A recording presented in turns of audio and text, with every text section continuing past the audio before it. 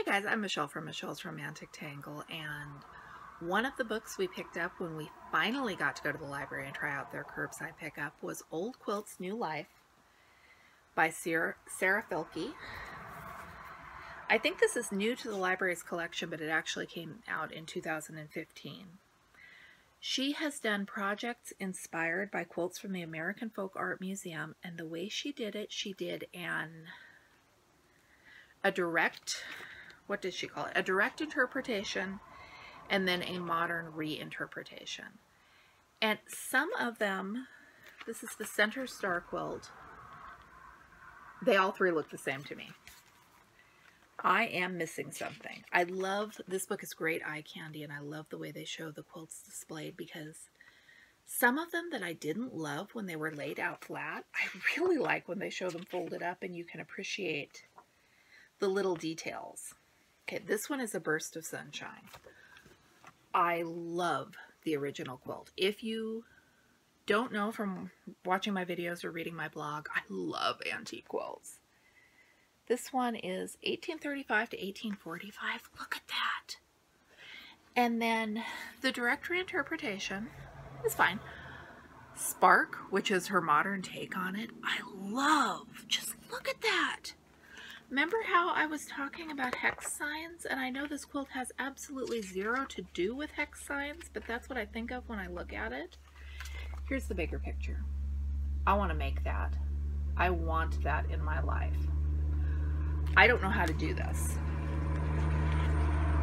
But I am willing to learn to do this, to get that in my life. This is a Whig Rose quilt from 1857 and her direct reinterpretation and her modern take on it. A lot of these, I like the older ones more than I like the modern reinterpretation, and that's okay because we can all have our opinions. Love this one.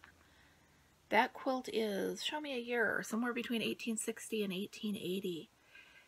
And this is where I get thoroughly confused because the line between antique quilt and modern quilt really seems to be a blurry one. There's that middle ground of, I guess they call them contemporary quilts, but that's not, I love antique quilts. Remember I said recently I don't applique, but I want to applique, and these are going to be what pushes me over the edge. This one is a Centennial quilt, and it's Centennial G.K. Knappenberger. They think Gertrude Knappenberger is the one who made the quilt, so that she put her name, maybe, in the border of her quilt. That's cool. There's a lot of applique here. These are not, here's the modern reinterpretation of that one. These are not easy quilts. Or, these are not quick do them in an afternoon quilts and the log cabin quilts. I love that, but I've done those. I know I can do a log cabin quilt. What I don't know if I can do is this one. It says pitter patter and it is raindrops and isn't that cool?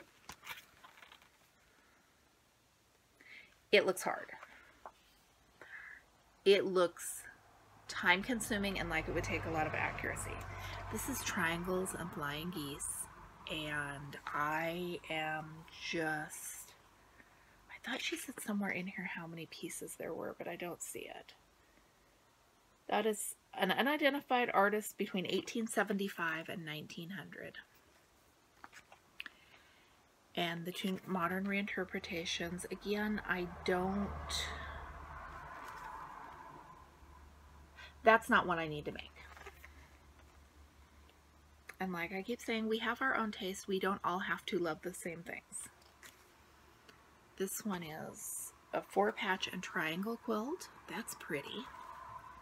And that one is Barbara Zook, Zook Peachey in Pennsylvania between 1910 and 1920.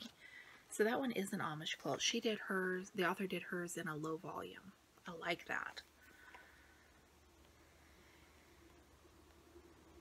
And this one is called Revival. That is beautiful. And that is from between 1930 and 1950. It has feed sacks. And let me get to the, where's the modern reinterpretation of that one? I don't see how the author got from point A to point B. I also don't need to see how she got from point A to point B because she wasn't doing it for me.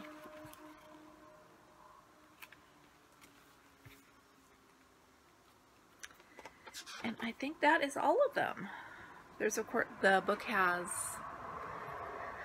what are these things called? Patterns, templates. They're actually in the book, so there's not a separate sheet to lose. There is not a CD, which I'm not a huge fan of. I've accidentally bought a few books that came with CDs and makes me feel like I have a deadline because I know the technology is going to change. This one, it is all in the book.